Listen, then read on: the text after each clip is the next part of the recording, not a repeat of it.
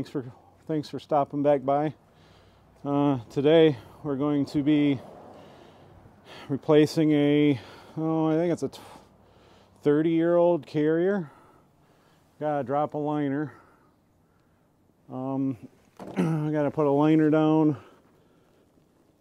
that side there, um, which is there.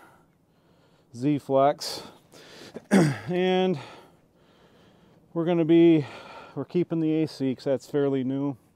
We're going to be putting the vent oh somewhere right there for the new one.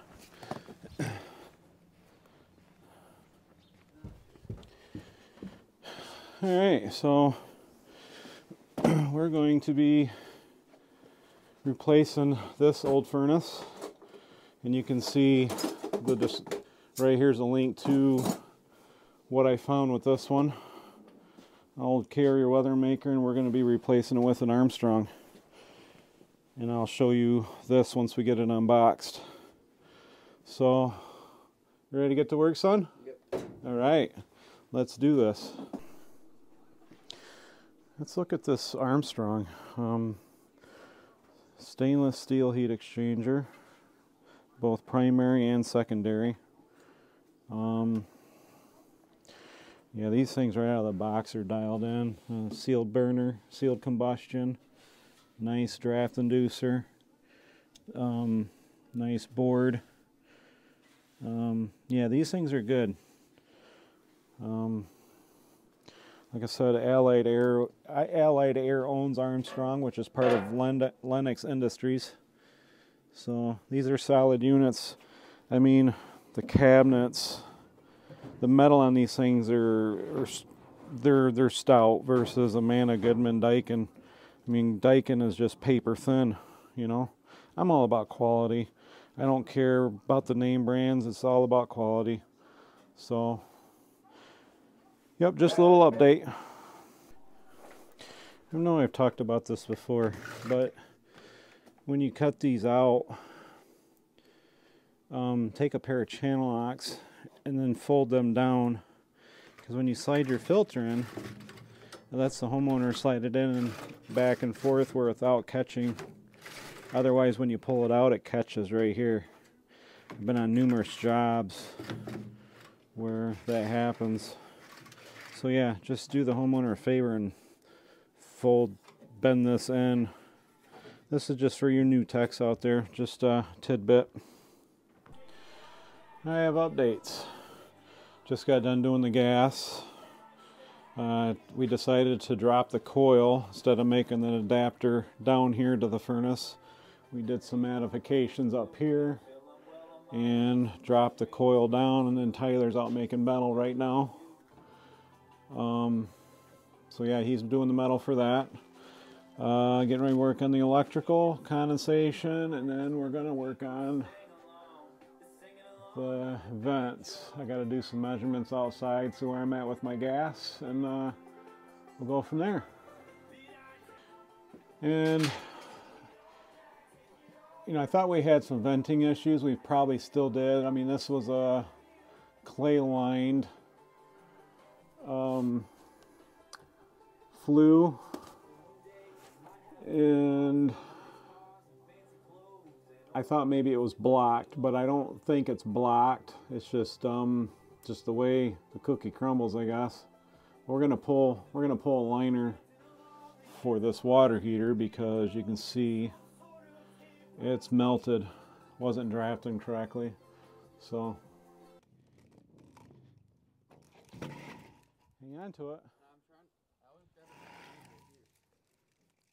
Grab onto it like that.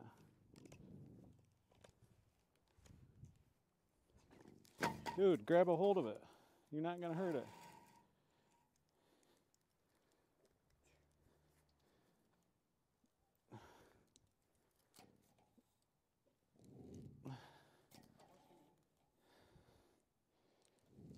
That should be good.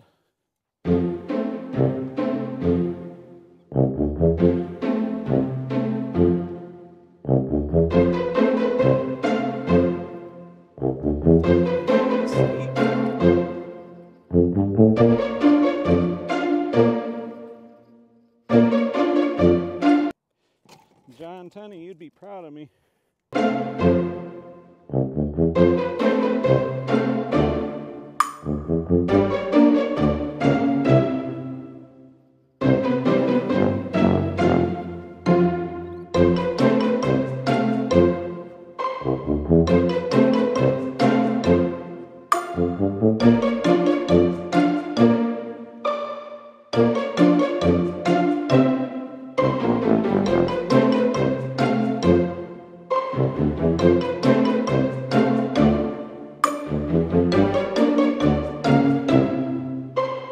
Long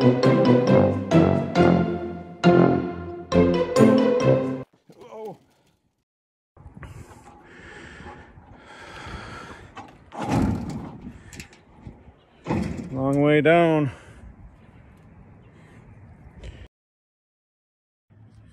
There, finally got that son of a bitch down. That's a steep one. Baby. Okay, here I come. Oh, glad to get down on ground level. All right, I have updates. Finally got this done. That looks a lot better. Like I said, we dropped the coil. Otherwise, it would have been about five, six inches. We'd have had to make an adapter. So we just made a adapter here, dropped the coil, made some modifications up here to do that. Um, I don't know what happened here. This is a little crooked. I had everything nice and straight and level, and I think on the monks of priming and gluing my fittings, this moved, but it is what it is. I mean, um, yeah, we're. I still got to put my sticker on that yet, but we got the liner down. Man, that was a bear. So yeah, let me know how many of you guys do liners. I'm curious. Different parts of the states, you know. Um, everything's all mortared. Now this isn't. I, I fired this up and it's not rolling out at all. But this is this is what was going on and it wasn't drafting properly. And you can see the rollout. It was uh, melting this, but it's drafting good now, so we're we're good to go. There's the vents. You can see how that that accelerator pushes the exhaust more. That's on high fire now. That accelerator works great on these uh, allied furnaces. And it pushes it a good four or five feet out. Hopefully, it doesn't kill this tree here, but Yep, I'm away from my gas meter. I had to go right there in that specific spot for my gas meter. All right, guys. Thanks again for watching. I really appreciate it, and uh, have a good night.